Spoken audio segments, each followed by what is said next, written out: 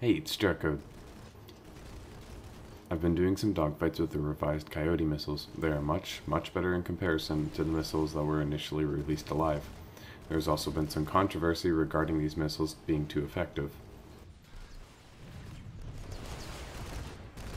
I feel like these missiles are slightly easier to use than the original two-shot missiles, and for some reason, I'm finding them to be doing a lot more damage.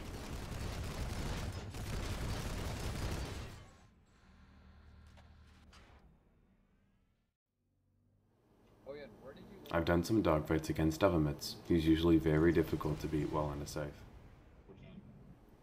I feel like the missiles are more effective than even the two-shot version, and that some tweaking to either the rate of fire or the reload time should be necessary.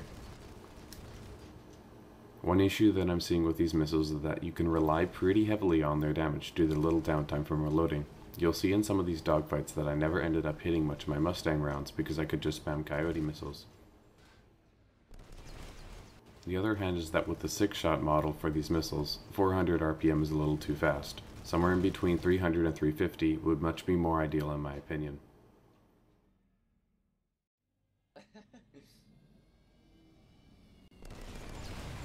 Otherwise, the buffer coyote missiles made them actually viable for air combat, so we can actually see how well they perform in other situations on the live servers.